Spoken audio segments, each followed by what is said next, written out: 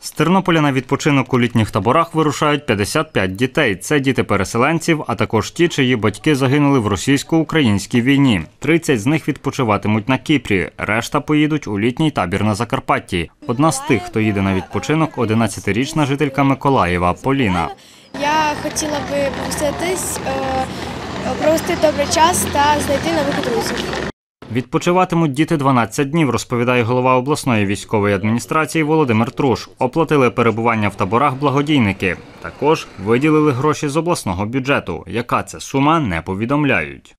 Це тільки перший етап для е, по оздоровленню дітей. Наступний етап це буде організовано на набагато більша кількість дітей, які будуть відчувати не тільки на теренах області, а й будемо ну, вживати всіх необхідних заходів для того, щоб діти могли провести свій літній відпочинок і оздоровитися на використовуючи природу моря чи інших країн світу.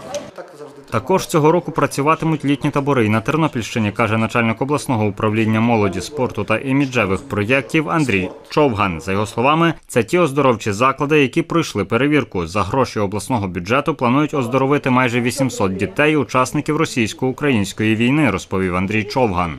На території області існує 9 таборів, які можуть проводити оздоровлення е, та відпочинок дітей. З них 7 таборів було включено у мережу оздоровлення на 2022 рік. З трьома з кращих з них е, управління заключило договори на те, щоб провести оздоровлення дітей за кошти обласного бюджету. Вартість оздоровлення знаємо, це 450 гривень е, один день. Кошти відпочинок дитини. Сюди входить п'ятиразове харчування, е, екскурсії в кожного табору, там різна своя програма, а також трансфер дітей з міста Тернополя до табору і з табору до міста Тернополя по завершенні оздоровлення.